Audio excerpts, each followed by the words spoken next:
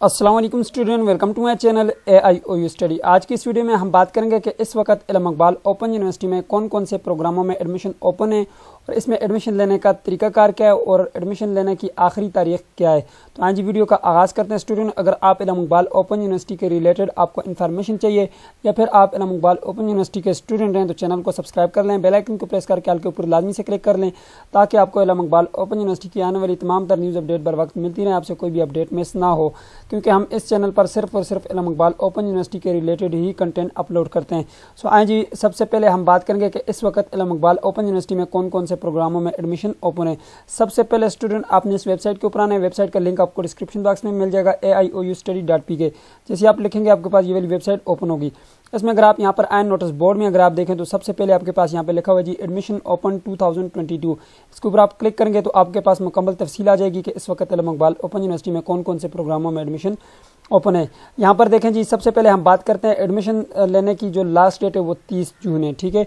और इस वक्त इकबाल ओपन यूनिवर्सिटी में M A M S C M Ed O D L program जो है वो ओपन है, ठीक है? और कंटिन्यू स्टूडेंट भी अपने एडमिशन भेज सकते हैं M A M S C और एम एड के, जिन्होंने अभी तक अपना एडमिशन नहीं भेजा, ठीक है? तीस जून इसकी लास्ट डेट है और ये विद लेट फ़ीस है, ठीक है? क्योंकि ये पहले से एक्सटेंड करती आ रही है यूनिवर्सिटी तो इस बार भी इन्होंने एक्सटेंड किया है। पंद्रह जून इसकी पहले लास्ट डेट थी, अब तीस जून इसकी लास्ट डेट है।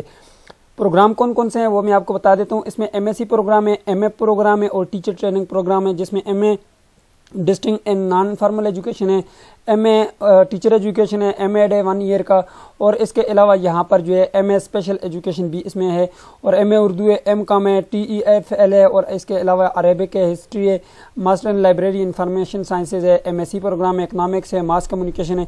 यहाँ पर आप आकर खुद देख लें, आपने किस प्रोग्राम में जो एडमिशन लेना है। आज मैं आपको एडमिशन लेने का तरीकाकार बताता हूँ कि आपने एडमिशन किस तरह से लेना है? एडमिशन लेने के लिए आपने थोड़ा सा नीचे आना है, ठीक है? इसके अलावा इस वक्त इकबाल ओपन यूनिवर्सिटी में किसी भी प्रोग्राम में एडमिशन ओपन नहीं है, ठीक है? जैसे ही ओपन होंगे, इंशाल्लाह मैं वीडियो बना के अपलोड कर दूँगा और आपको बता दूँगा, ठीक है? यहाँ पे आपने नीचे आने एडमिशन लेने का तरीकाकार तो ये मैंने बताया हुआ है स्क्रीनशॉट के ज़रिए भी आप लोगों की आसानी के लिए। लेकिन आपने सबसे नीचे आना है और यहाँ पे अप्लाई नाउ के बटन के ऊपर क्लिक करना है। जैसे अप्लाई नाउ के बटन के ऊपर क्लिक करेंगे, सबसे पहले आपने प्रस्पेक्टस डाउनलोड करना है, ठीक है? यहाँ पर आना है और download prospectus for national student के बटन के ऊपर क्लिक करना है। अगर आप M M S C M Ed program में एडमिशन लेना चाहते हैं, ठीक है तो उसका तरीकाकार ये है कि सबसे पहले आप यहाँ पे आए, ये आपके पास है जी M M S C program का जो है प्रस्पेक्टस मौजूद है, ठीक है। जैसे आप ये डाउनलोड के बटन के ऊपर क्लिक करेंगे, आपके पास प्रस्पेक्टस डाउनलोड हो जाएगा, ठीक है। जैसे ये प्रस्पेक्टस डाउनलोड होगा, इसको आपने रीड कर लेना है, ठीक है। फिर आपने वापस यहाँ पे आना है, मैं दोबारा से यहाँ पे बैक आ जाता हूँ जब तक ये डाउनलोड होता है। आपने यहाँ पे आकर सबसे पहले ऊपर जो है, यहाँ पे देखते हैं, ये आपके पास O A S for fresh applicant इसके ऊपर आपने क्लिक करना है। चलें, यहाँ पे जो है प्रस्पेक्टस भी मैं देख लेता हूँ। प्रस्पेक्टस अभी डाउनलोड हो रहा है, बस थोड़ा सा बाकी है, ठीक है? तो जैसे ही प्रस्पेक्टस डाउनलोड होगा प्रस्पेक्टस में जो है आपको फ़ायदा ये होता है, ये बिल्कुल फ्री है पीडीएफ में आप इसको रीड करें। इसमें सारी चीज़ें लिखी होती हैं, आपके एग्ज़ाम कब होंगे, आपके जो है, आपने कौन कौन सी बुक्स पढ़नी है, सारी चीज़ें इसमें लिखी हैं। ये देखें जी, इसमें प्रोग्राम कौन कौन से हैं, ये सारे लिखे हुए हैं, ठीक है? इसमें फ़ी स्ट्रक्चर भी दिया होता है कि आपकी फ़ीस कितनी है, ठीक है? थोड़ा सा नीचे आए और यहाँ पे इसमें जो है सारी डिटेल लिखी हुई है। चले, मैं आपको कोई एक एमए उर्दू का बता देता हूँ, ठीक है? मैं यहाँ से नीचे आता हूँ और यहाँ पे नीचे आकर एम उर्दू में आ जाता हूँ। जी तो यहाँ पे देखें, ये जी शोब है उर्दू एम उर्दू, ठीक है? अब यहाँ पे देखें जी, इसके जो है सारी चीज़ें यहाँ पे लिखी हुई हैं, लेकिन आपने सबसे पहले आने शरात दाखिला देखने हैं, ठीक है?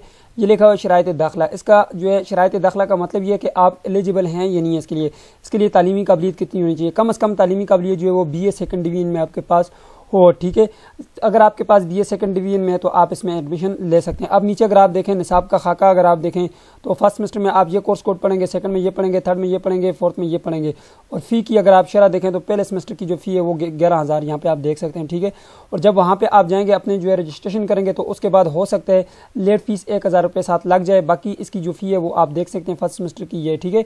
अब यहाँ पर ये सारी चीज़ें आप पढ़ लें रीड कर सकते हैं, ठीक है।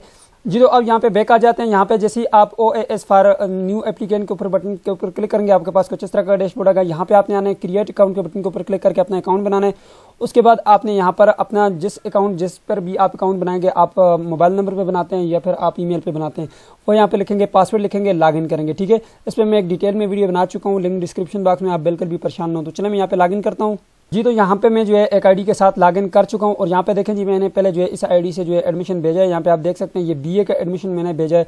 ठीक है, इसी तरह आपने यहाँ पर आना है। सबसे पहले आपके पास ये जगह बिल्कुल खाली होगी यहाँ पे ये आपको साइड पे बटन नज़र आ रहा है अप्लाई फॉर न्यू प्रोग्राम इसके ऊपर आपने क्लिक करना है। जैसे आप यहाँ पे क्लिक करेंगे, यहाँ पे ओपन डिस्टिंग लर्निंग प्रोग्राम करेंगे और यहाँ से इसको सेलेक्ट करेंगे एम एम को ठीक है और देन सेलेक्ट प्रोग्राम के बटन के ऊपर क्लिक करेंगे। जैसे आप सिलेक्ट प्रोग्राम के बटन के ऊपर क्लिक करेंगे, आपके पास कुछ इस तरह का डैशबोर्ड आ जाएगा, ठीक है? अब यहाँ पे आपने आना है, आगे आपके पास ये एक्शन का बटन है ओपन का बटन इसके ऊपर आपने क्लिक करना है। जो जैसे आप यहाँ पे क्लिक करेंगे, आपने यहाँ पर अपनी जो है लास्ट एकेडमिक रिकॉर्ड एंटर करना होता है और यहाँ पे देखें ज़ीरो परसेंट है। इसी तरह आपने नेक्स्ट करना है, फिर आपके पास एक फॉर्म ओपन होगा, उस फॉर्म को आपने कंप्लीट करना होगा, ठीक है? उसमें जो है आपके पास सबसे पहले पर्सनल इन्फॉर्मेशन देनी होगी, फिर आपने एकेडमिक रिकॉर्ड देना होगा, उसके बाद आपने अपने फ़ोटोज़ वगैरह अपलोड करने होंगे, अपने डॉक्यूमेंट वगैरह के फ़ोटो सब चीज़ें अपडेट करनी होगी, ठीक है? उसके बाद आपने प्रोफेशनल एक्सपीरियंस अपना देना है। उसके बाद नीचे जो है सब चीज़ों के ऊपर टेक लगा के आपने जो है नीचे सबमिट वाले बटन के ऊपर क्लिक करने आपके पास एक चलान फॉर्म जनरेट होगा। उस चलान फॉर्म को जो है आपने पे करना है आपका एडमिशन हो जाएगा। इसके लिए मैंने डिटेल में वीडियो बनाई है लिंक डिस्क्रिप्शन बॉक्स में जाकर देख लीजिए ताकि आपको कोई भी मसला ना हो। घर में बैठकर आप आराम से अपना एडमिशन भेज सकें। सो ये थी आज की वीडियो उम्मीद करते हैं आपको वीडियो पसंद आएगी। पसंद आती वीडियो को लाइक कर दीजिए। चैनल पर नहीं तो सब्सक्राइब कर दीजिएगा। मिलते हैं नेक्स्ट वीडियो में। तब तक के लिए मुझे इजाज़त दीजिए और अपना ख्याल रखिएगा। अल्लाह हाफिज़।